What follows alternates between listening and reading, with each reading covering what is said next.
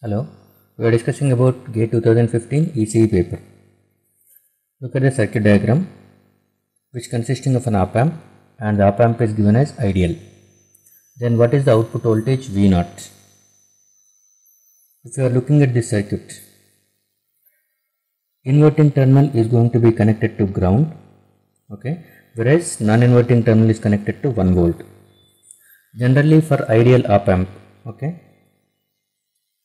for ideal op amp, we know that one open loop voltage gain AOL is going to be infinite.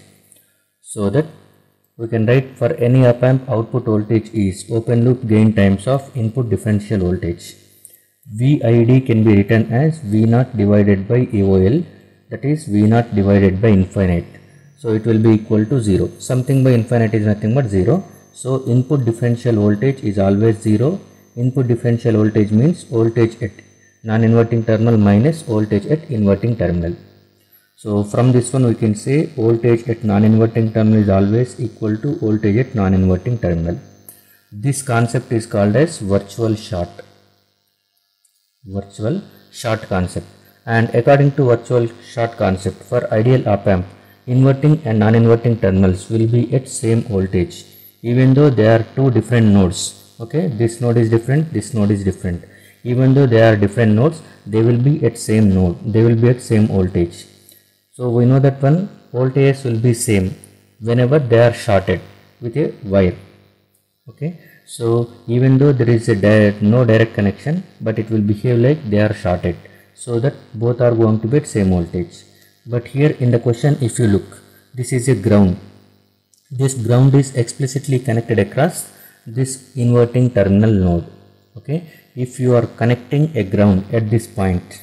So this is at 0 volts and it is at 1 volt. Okay? This is uh, the situation we don't encounter in normal circuits. So for this one we are going for the general rule which is output voltage of an op amp is open loop gain times of differential input voltage. So v naught can be written as AOL times of voltage at non-inverting terminal minus voltage at inverting terminal.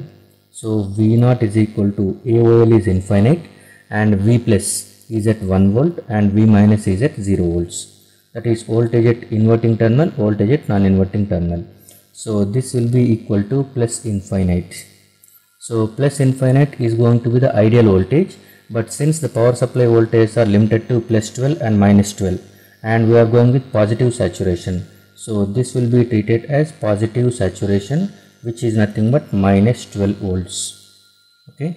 And remember that one this equation is going to be valid for all cases that is op amp under open loop, op amp under closed loop. It may be with positive feedback or it may be having negative feedback. This is going to be a general formula. Operational amplifier internally consisting of differential amplifier the function of differential amplifier is to amplify the difference between the input signals. The inputs are going to be non-inverting and inverting inputs. And gain provided by the differential amplifier is ideally infinite. That is what we are saying AOL. Okay.